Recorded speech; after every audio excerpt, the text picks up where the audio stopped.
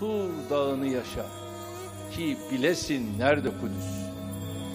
Ben Kudüs'ü kol saati gibi taşıyorum.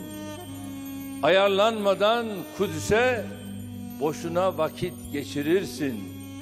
Buz tutar, gözün görmez olur. Evet, Kudüs'te zaman bizim bildiğimiz vakitlere göre değil, kendi mecrasında akar. Kudüs aşktır. Kudüs hasrettir.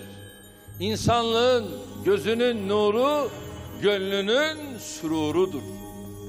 Kudüs yeryüzünde arş-ı alaya en yakın yerdir. Çünkü Kudüs İsra'nın ikinci durağı, miracın ise ilk basamağıdır. Ümmetin ilk kıblesi, peygamberler şehri olan Kudüs, tüm Müslümanların haremi izzeti ve namusudur.